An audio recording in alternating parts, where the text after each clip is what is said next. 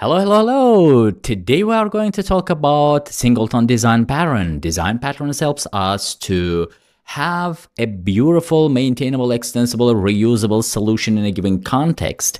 And today in this tutorial, we are going to explore singleton design pattern. In some cases, people call it anti-pattern or the pattern, but it doesn't matter for us right now. We are just focusing the concrete implementation, the easiest implementation of singleton design pattern. Of course, singleton design pattern has multiple implementations. You can use double checking, static method implementation, and also the lazy loading implementation, which I'm going to show you in this video. And you will understand what type of problems will solve our implementation at the end. So let's dive in. First, let's try to understand what is a singleton design pattern. Singleton design pattern ensure that you have only one instance for the given object or exactly said you are restricting instances for your object. You can have more than one instance. The purpose of singleton is to isolate the object creation and also manage object creation. Okay. So for example, every time you're creating an object, but singleton allows you to restrict object creation, you may have only one instance uh, in whole project or you may have four five instances in whole project. So purpose here is to restrict you to create an object. So you see this is a creational pattern. We have a restriction for object creation and it provides only one single access point for the given object. So you have some sort of global object and different modules, different classes are able to access this module to access your singleton to retrieve the instance. As mentioned before, you can implement singleton design pattern using multiple ways. For example, you can use classical implementation, which is not preferred. You can use the lazy loading mechanism, which I'm going to show you right now. You can implement singleton design pattern using static class uh, with static methods. You can implement singleton design pattern also with double checking mechanism. So it is up to you which version to use. Also, it depends from your project requirements. Right now, let's focus on classical singleton implementation and see what's wrong with classical implementation when you adapt GoF's singleton implementation directly to your .NET projects, okay? So first things first, we need to understand that a singleton allows, uh, limits access to the given resource. So for example, we have some resource, I will implement like file-based resource. So let's use it. Class file resource, okay? This is my resource, file resource and for my file resource, I want to restrict object creation. In a classical manner, when you use your file resource like this file resource, you can mm, use implementation form like this.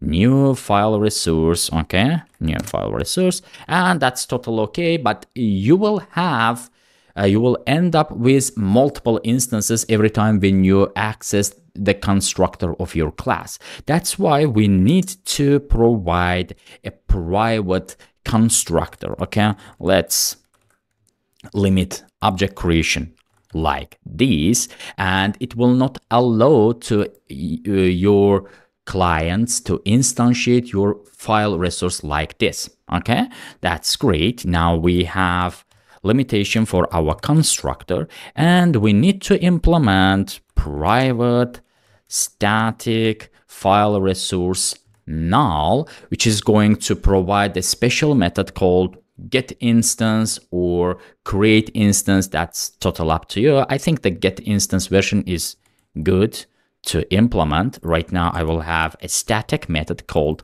uh, get instance. Of course, don't forget to add the sealed for your class. And now what I'm going to uh, implement, I will check if instance is null, then let's instantiate because we have private constructor, but it doesn't block you to instantiate file resource internally. Right now we are internally instantiating our file resource and at the end I'm returning my instance. Okay, that's great. That's the easiest way. That's the classical way of, not easiest, but, but classical way of implementing our uh, singleton design pattern. So let's just file resource dot get instance or create instance. It is up to you how to call it. So that's our classical implementation of singleton design pattern. But we have a bit problems using this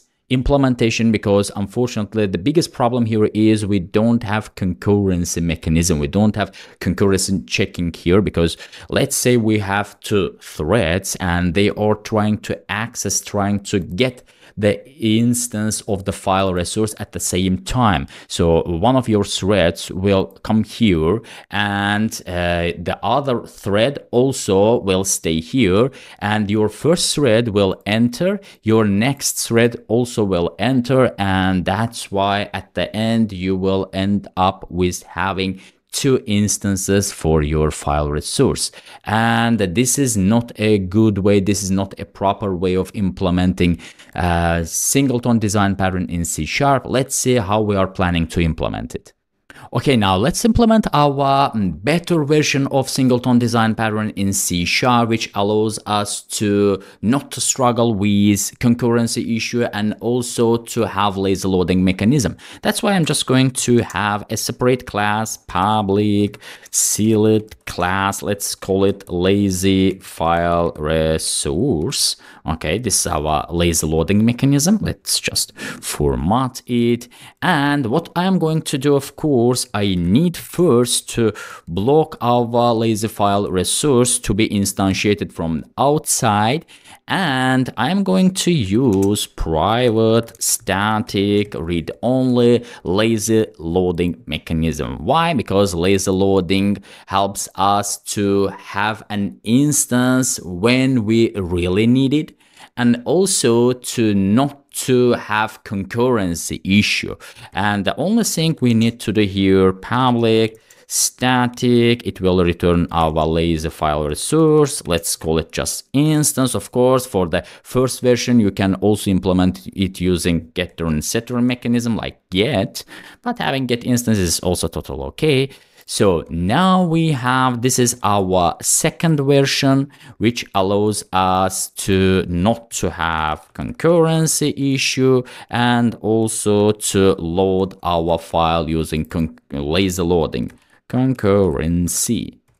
Okay, great. Let's just call it lazy file resource, lazy file resource, lazy file resource dot instance. Well, when you have multiple threads, you will not have the problem which you have in your file resource. Is that really all? Well, from the singleton perspective, yes, but from the variation of singleton, of course not. You will have different versions of singleton implementation. As I mentioned, you may have static class implementation, double checking implementation, or ambient context implementation. Uh, you will have the lazy loading implementation. You may have the even if you don't have a concurrence environment, you may have the classical implementation. Right now, I will show you one of the popular version of singleton implementation called double checking mechanism with singleton. And let's see it. I will have public sealed class double check um, file resource, file resource. Okay, this is our double check file resource. For the double check file resource, we will have a bit complex implementation because we'll use volatile keyword, we'll use multiple checking mechanism, we'll use concurrency checking like lock. So uh, stay tuned. Let's see what we have. We have private, static, volatile, db file the check file resource. This is our instance.